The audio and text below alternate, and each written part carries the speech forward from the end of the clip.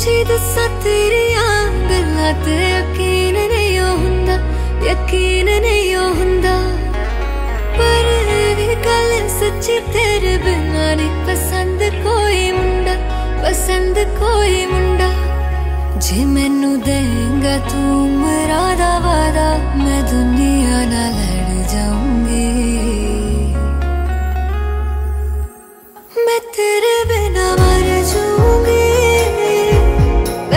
कुछ ऐसा कर जाऊँगी